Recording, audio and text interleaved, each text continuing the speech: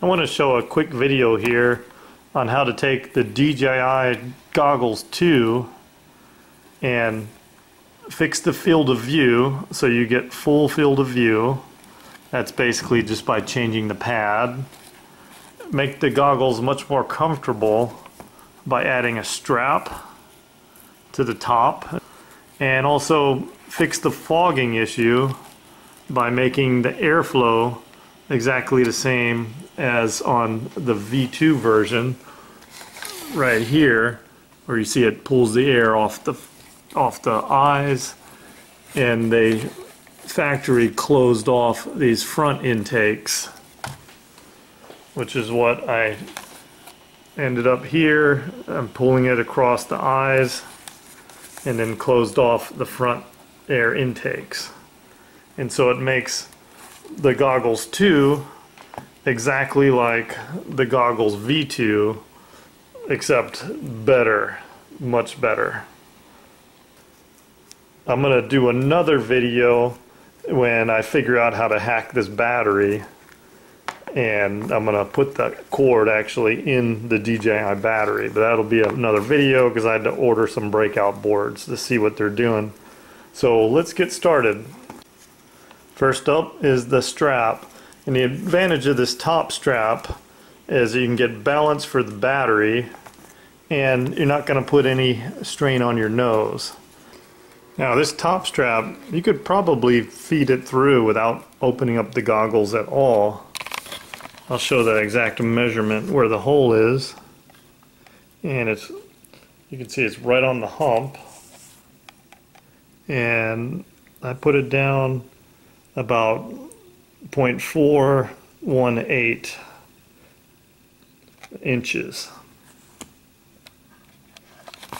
and then just bend your nylon tie and you could feed it through and then get it out of the other hole put in your top strap real quick and easy to pull off the back plate, you have to use a good Phillips screwdriver. It has to be a good quality. We do have some side screws here. You want to keep them, keep that screwdriver down low. They're they're pretty easy to strip. You, you pull off one, two, three, four, five, six times two, so there's 12 screws, which I piled up right there. And this back plate First you pop out the sides and then use a lever tool because there's a little catch right here. So you want to get in there and once you pop out the top this whole back plate just comes off pretty easily. This is a temperature controlled soldering iron and I can set a lower temperature of 250 C.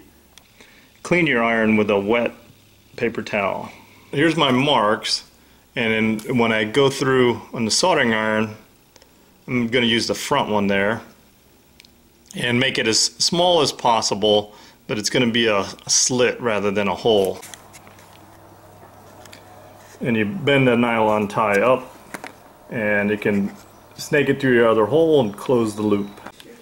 And then you got strap on the top to take the weight off of your nose.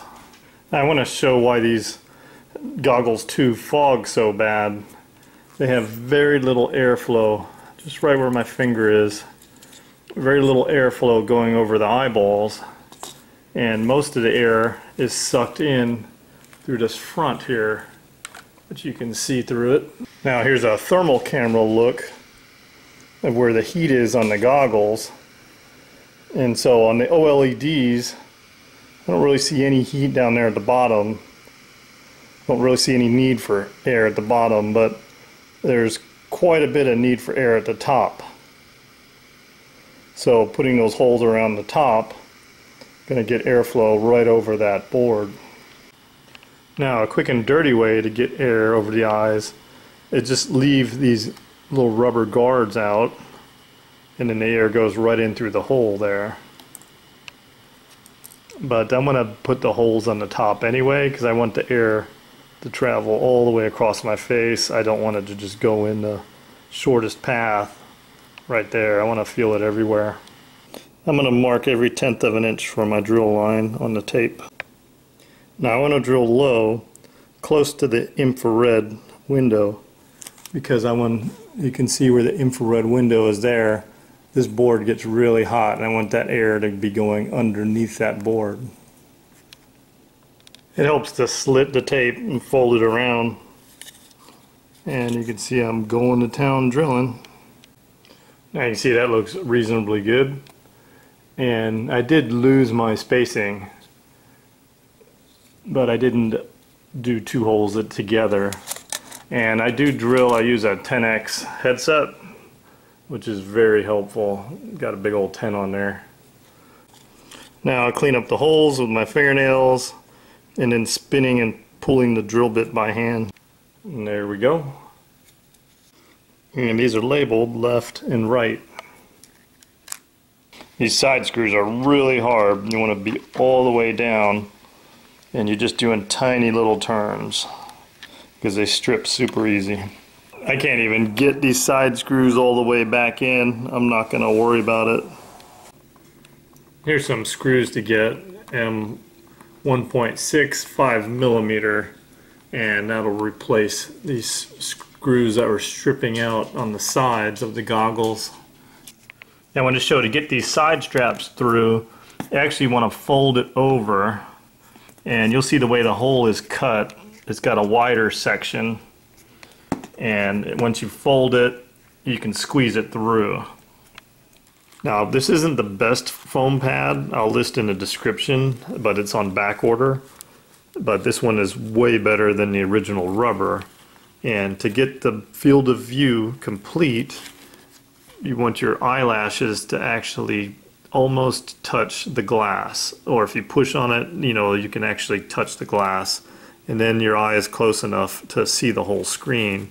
And they have a slant here. There's an angle so the higher up you mount the closer your face will get because you're, you're like dropping dropping it further up. And then I did the same thing. I went down low and I just cut out the nose piece you get a little bit of light from the bottom it's not a big deal. And it allows all the air to just flow right over your nose and then go out through the top. Something interesting here, I'm indoors and I'm just watching some videos uh, on there and this thing is freezing my eyeballs because of the, the indoor room temperature and all you got to do to warm your eyeballs up is open up a piece of tape and then it'll just start drawing in air in the front there so you can have uh, temperature regulation of your eyes. Last you can put a small nylon tie just loosely and that'll make sure you don't unplug. I would imagine DJI will eventually do this on a newer version of goggles. I made these mods on the goggles too because I want the biggest screen for the best FPV experience. The Integra just kind of did a band-aid by using the smaller screen and they are not even addressing the fogging. So these are my new goggles. I'll be using these every day. Hope you like watching the video. Thanks for watching.